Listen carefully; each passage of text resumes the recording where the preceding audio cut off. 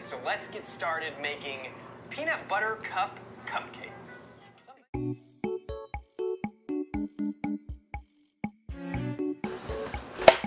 Hey guys, I uh, I've been seeing videos like go around of people trying to follow like makeup tutorials and stuff like that. I uh, I follow more comedy channels and video gaming uh, channels. So this I think it was like last week. Um, Brutal Moose. I'll insert clip here.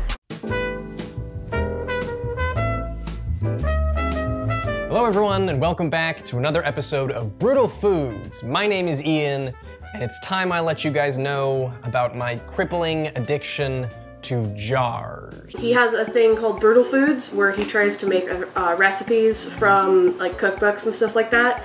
And recently he did a dessert jars uh, on the peanut butter cup cupcakes, um, where you literally make them in jars. Then I guess I'm just gonna call this I tried a Brutal Foods tutorial on food.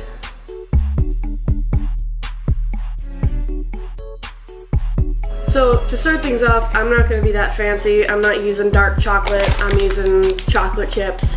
I'm not using buttermilk, I'm using almond coconut because I'm lactose intolerant. Woo! And I'm gonna use water instead of coffee because it calls for three quarter cup of hot coffee or boiling water. And knowing me, I'm not gonna wanna have these just during the day. I'm just gonna wanna have them at night.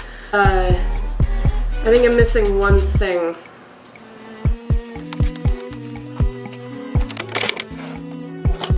Hello. Hello. Thanks, guys. Bye-bye. So it calls for one and a half cups of sugar, which has to be all sifted together fancily. Half, one, one and a half. Two cups of all-purpose flour, half, one, one and a half.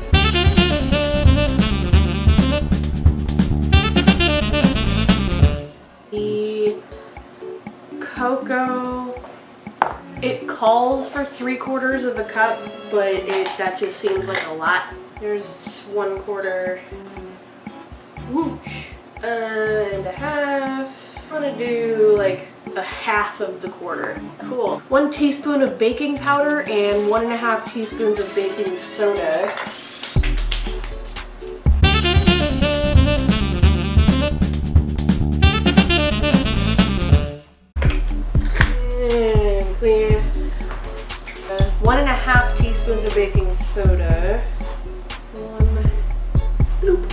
One teaspoon of baking powder.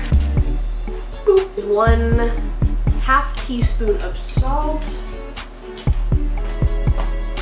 That'll work.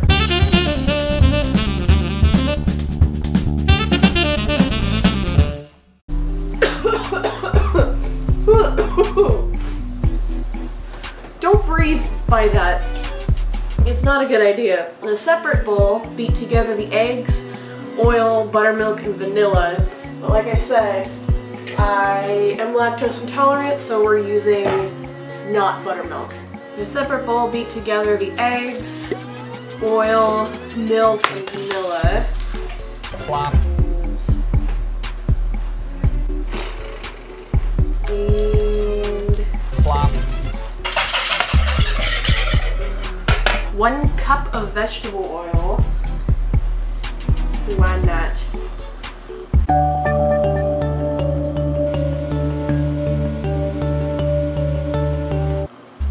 And one cup.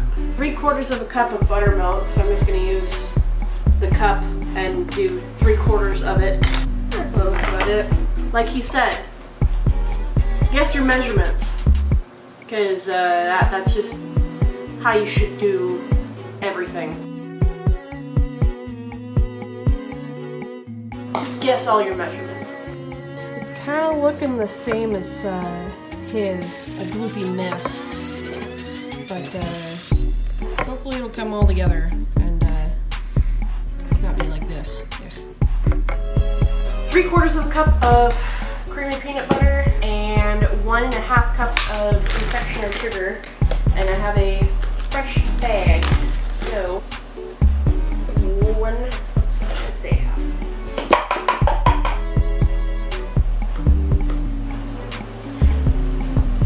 Just gonna use this. There is a quarter cup right there. Let's just say another quarter. Oh god. Uh, let's just use a spoon. Another quarter. So we're supposed to mix it together to the point where it's supposed to be like a loose dough consistency so we can roll it into balls and put it in the actual jar itself. So I'm a bit confused because there's no way this is working. It probably requires using hands, which may have been using hands this entire time, but like actually in the dough itself. I'm gonna see how that works. Wow, why is that working? Why is that working? With my hands thoroughly peanut butter and sugared up, uh, it looks like it's formable, so uh, I guess I'll just keep it at that.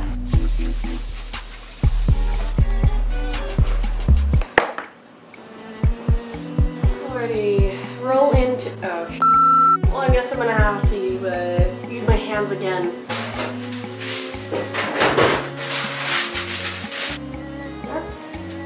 They're gonna, that's how they're gonna be. Plop, plop, plop, plop, plop, plop, plop, plop, plop, plop, plop. Scoop three and a half tablespoons of cupcake batter into each of the bottom of the 12 8 ounce jars.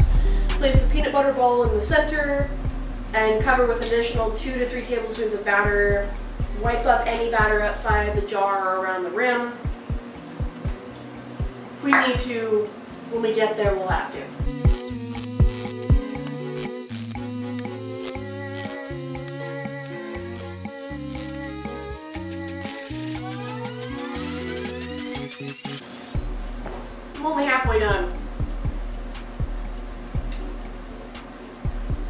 It's gonna be worth it though.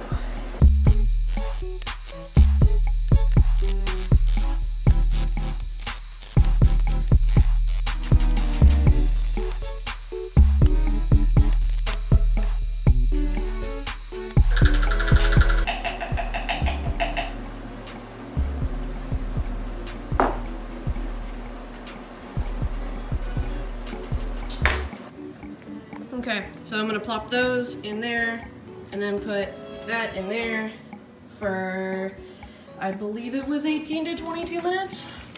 18 to 20. Yep, 18 to 20. Okay, I'll see you then. Plop, plop, plop, plop, plop, plop, plop, plop.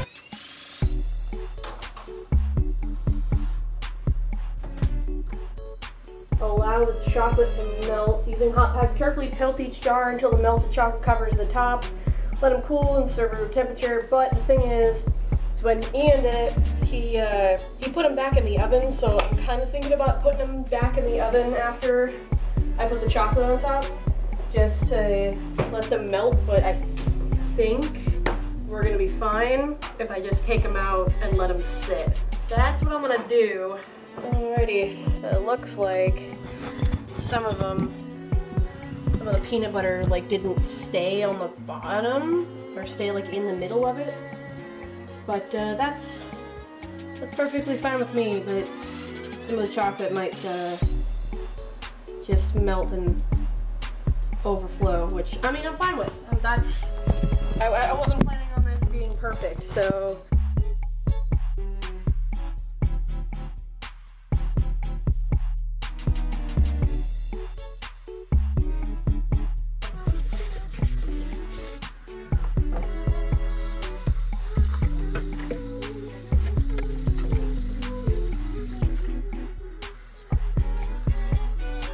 None of that ended up really melting in there.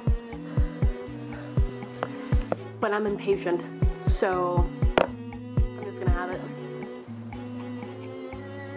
Hmm. Got a little peanut butter in there. Are you kidding me? I'm making these again. Holy crap. It looks like some of the chocolate chips like melted down into the batter itself. Well, this just brought batter, I don't know. I can't tell. It's a lot of work. Definitely worth it.